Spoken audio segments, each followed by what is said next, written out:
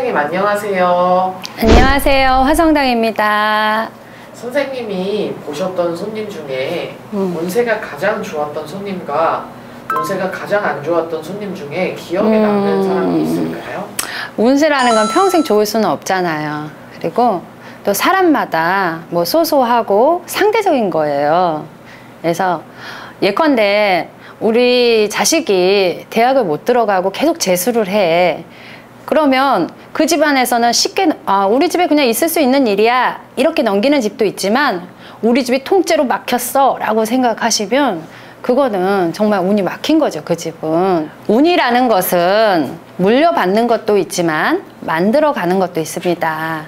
즉 만들어가는 운은 저희 같은 만신들이 빚어서 도움을 드릴 수가 있는 부분들이고요 그래서 어 뭐 상담을 통해서 또는 뭐 처방을 통해서 여러분들이 만신들과 삶을 좀 빚어 나가시면 훨씬 더 편안한 길로 지름길로 가지 않을까 저는 이렇게 생각합니다.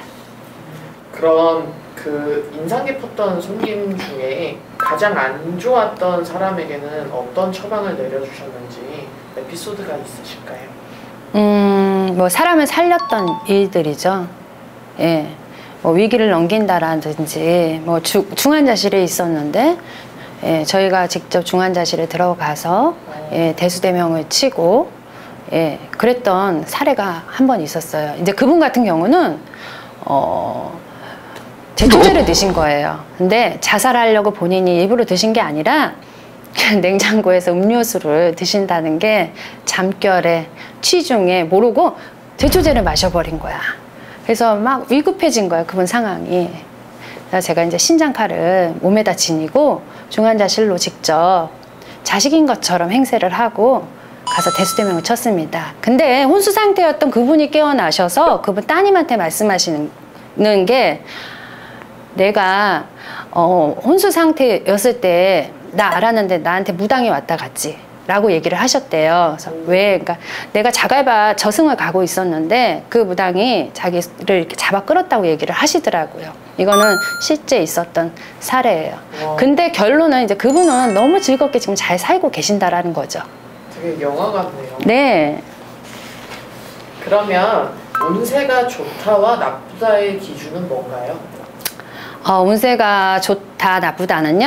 아, 나한테 어떠한 인연들이 지금 있는지 이것도 보셔야 돼요.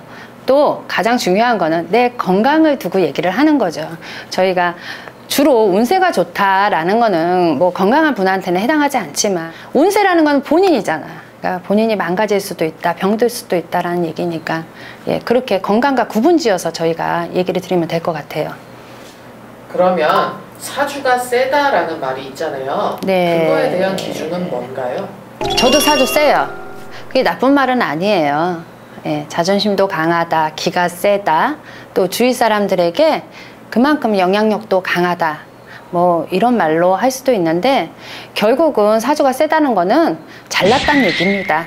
음, 제 견해로는 잘난 분들이에요.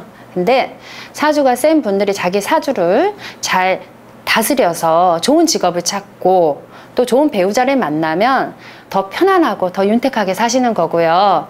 본인 직업을 잘 찾지 못하고 방황하고 본인을 괴롭히고 스스로가 자책하고 또 배우자를 선택을 잘못하시면 이런 분들은 사주가 세면서 힘들게 사시는 거죠. 그럼 일상생활에서 좋은 운을 부르는 방법이 있다면 팁 하나만 부탁드려도 될까요? 예, 한 가지로는 뭐 완전히 설명을 할 수가 없는 질문인데요. 일단은 적을 만들지 말아야겠죠. 예, 친구를 많이 만들고 내 편을 많이 만들고 예, 적은 되도록 안 만드시는 게 좋지 않겠습니까? 아, 이 얘기 드려야 돼. 남, 남 험담하지 마세요. 음, 내가 양쪽 말을 다 들어보지 않으셨으면 남 험담하시면 아니 됩니다. 예, 그거는 어, 본인을 망치는 지름길이에요. 예, 좋은 말씀 감사합니다. 예 감사합니다.